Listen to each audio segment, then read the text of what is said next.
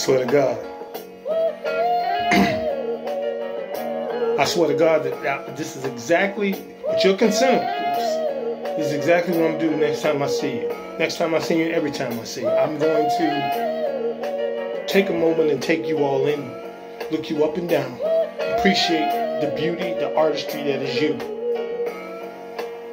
I'm gonna step into your personal space. I'm gonna wrap my arms around you. I'm not gonna hug you like we pals, like we friends, even though we've cultured this friendship. But I'm gonna wrap my arms all the way around you, pull you up, and hold you, and squeeze you. Then I'm gonna take a step back, not too far, maybe a half a step actually, and I'm gonna kiss you. I'm gonna kiss your lips. Then I'm gonna take my breath and kiss your breath.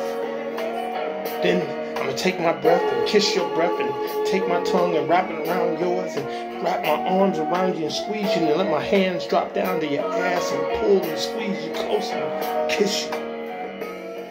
Every single time I see you, I'm gonna look at you and take you in and appreciate you. I'm gonna wrap you in this bear hug with all the passion that it comes with.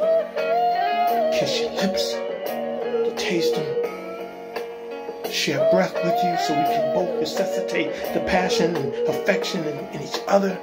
Wrap your tongue in the same embrace I wrapped you in so you can know how, how deep this passion is inside me. Grab you, squeeze you, let my hands drop down to your backside that's so ample the way God created and squeezing it. Pull you closer as if there's nowhere else for you to go every single time every time I see you. Every time I see you. Every time I see you. See you. Hold you.